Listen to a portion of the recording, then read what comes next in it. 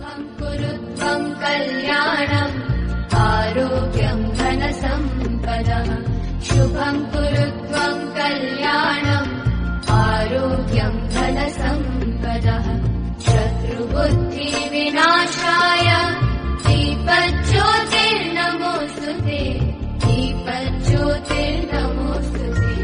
शुभं गुरुत्वं कल्याणम् आरोग्यम् धनसम्पदः